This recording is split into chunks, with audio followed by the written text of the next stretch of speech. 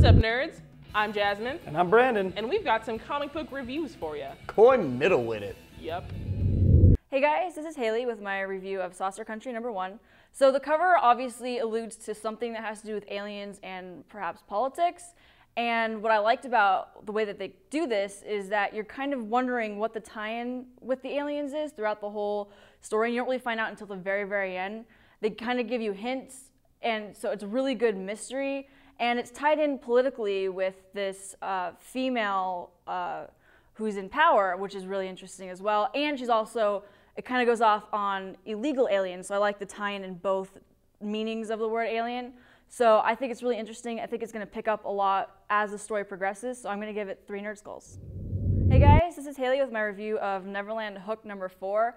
And I really wanted to give this book a try because I've always seen the images of these Zenescope green uh, Grimm fairy tales and I've been weary. So I was like, okay, I'll go in and I'll give it the best shot I can. So the beginning was interesting. And then at the end, I don't know what happened. It completely lost me. They had me for a little while. Like I was surprised at how interested I was to begin with. And then they just lost me. I'm gonna give it two nerd skulls because it was a little bit entertaining. So I got a chance to read Dark Shadows number four this week, a book that I've been slowly catching up on, but I'm kind of regretting taking so long now. This book is really good, it's written very well, and uh, the story comes together in number four. The art is even better. Um, a complete story, and it does pay a huge homage to the original. And with the new movie coming out with Johnny Depp, you're going to want to read this book. I'm going to give it four out of five Nerd Skulls. Saga number one came out this week. If you do not all know, I love Brian K. Vaughan. I love Fables, I love Y the Last Man, I love everything he produces. And I've been waiting for Saga to come out, but I have to admit, I did not know much about it. I don't think a lot of us did, though. Uh, the main character has horns, and the woman has, has fairy wings. Looks a little weird from the outside, but I'm glad I got to read it this week. It is really, really good. You're going to want to prepare yourself for an intergalactic war, though. It's a true love story, what Brian K. Vaughan is really good at, but it does have a lot of interspatial travel. Looks, it's really good. You're going to want to read this one. I'm going to give it five out of five Nerd Skulls. Hey there guys, Cubby here with my comic reviews this week. I got to read of Thieves number two. Now I went back and read the first one just to make sure I was caught up, and I gotta say, it's a pretty good con- continuation. Um, it's a little more exciting than the first one. It has uh, the artwork in in the whole series. Um, it's pretty pretty pretty awesome.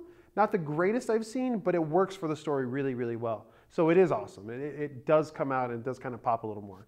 Um, it's really wordy, so you're not trying to look at the pictures too much. Everything's being explained to you, and it's a lot of referencing the past. So it's, it, it works really, really well. Um, overall, pretty exciting. I'm excited to see what, what happens later on, uh, but nothing big has happened so far. It does end on a pretty good cliffhanger, though. So I'm to give this book three out of five Nerd Skulls. Hey there, guys. I got to read Star Wars Agent of the Empire number four. This is a really, really good book series. I'm enjoying every little bit of it. Um, espionage and Han Solo and Chewbacca are in it. It's just all these really cool, interesting facets of the Star Wars universe you don't get to see in the movies. You kind of get to see in the movies a little bit. You get to see in the shows a little bit, but this is like a full-on comic based all around that. Um, really cool character, Jahan Cross. He's just this ultra badass, cooler than Han Solo in my opinion, because he's a spy and he, you know, has crazy space sex with a ton of people. That's the coolest thing ever. It's like James Bond, but in space.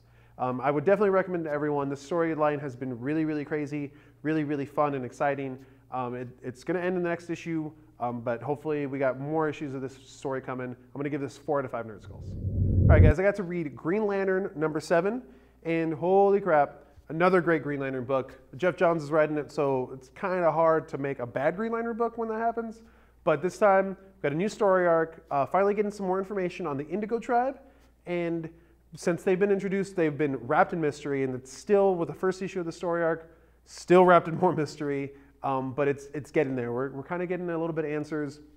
We see the Black Hands show up. It ends really crazily. I do not want to give anything away, but it has a very great ending with a lot of good answers, or a lot of good questions to be answered, um, and a lot of good plot lines that are kind of like laid out. I really do not want to give anything away, and if I mention one little thing in this book, I probably will, so check it out as soon as you can.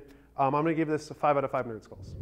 Hey guys, Brandon here, and I was fortunate enough to read Batman and Robin number 7. This has definitely been my top two bat title with Batman and uh, Batman and Robin. They are both awesome. And man, this one from the first page to the last page is just action and oh, pissed off Bruce Wayne. You do not mess with Bruce Wayne's family because you know what happens? You get the crap kicked out of you. I love the direction this book is going in. The ending even throws another curveball, which I'm like, oh, okay, story's over. Did it? No. Uh, definitely going to see repercussions in the upcoming story arc, I assume. I, I cannot wait. I, I'm like just patiently waiting to read this book every month. If you're not reading this, you're absolutely foolish. I'm giving this five out of five nerd skulls. I got to read Scarlet Spider number three. I'm still very much enjoying this book. Uh, I love Spider Man and everything about Spider Man, so why not read a book about his clone? So far, this is delivered every issue. Uh, this issue is no different. Awesome artwork, wonderful writing. Uh, now we're set up for who he's going to be facing. You know, he kind of just showed up in Texas and, you know, saved some things. Nothing crazy, but this one, you're definitely seeing who he's going to be facing. Very excited to see where this goes. I'm giving it four out of five nerd skulls. I got to read Peter Panzerfaust number two, and this surprised the hell out of me. Uh, I'm usually hit or miss on reimagining. Sometimes I, I, will be all about them, and other times that's lame. This is actually pretty interesting. Uh, sort of a reimagining of Peter Pan and you know the Lost Boys during World War II. Uh, this issue, they're saving some English soldiers from some you know Nazis, and I, I, was very entertained. I was very entertained this whole way through. Really good artwork. Uh, they have a little page showing you setting up for the next issue. Looks like we're getting a Wendy. Uh, I'm I'm completely on board with this. I'm giving this five out of five nerd skulls. If you guys can, make sure you're reading it. What's up, guys? Jasmine here with my comic reviews for the week. First up is Exile from the Planet of the Apes, number one. I'm not gonna lie, I have not really followed Planet of the Apes on any level for my entire life. So I was excited to read this book. Maybe I could just pick it up and see what happened, and that's exactly what did happen. I was able to just figure out what's going on. There's humans, there's apes, they're enslaved.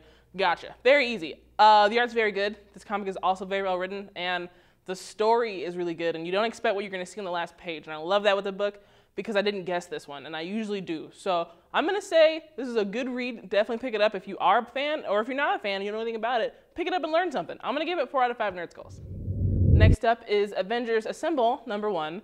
I am caught up on what's going on in the Marvel Universe, but not so much so that I was excited for this comic anyway. Um, however, when I read it, I really liked how it was written, and then I realized Brian Michael Bendis wrote it. I am not a Bendis hater, so I had to like it. I just didn't realize I did, and then it was good, and I liked it. However, the art in this comic was so spotty. Uh, I got the story. Avengers are running around doing stuff in Latveria and opening the new tower and all that stuff, and that's great. They're together, and that's cool and awesome. But what caught me more was the preview for Avengers versus X-Men in the back of the book. I wish that comic would have kept going and going and going, and I can't wait to watch that and watch what happens on the pages of that. As for Avengers Assemble, I'm gonna give it 3 out of 5 Nerd Skulls. Well written, bad art. I will say though, stay tuned with what's going on at Marvel, because it's gonna be great. All right, that's all the reviews we have for you this week. But until next week, be sure to follow us on Twitter, like us on Facebook, subscribe to our YouTube page, and check out nerdlocker.com for all your nerdy news. My name's Brandon. And I'm Jasmine. And we'll see you next week for even more comic book reviews.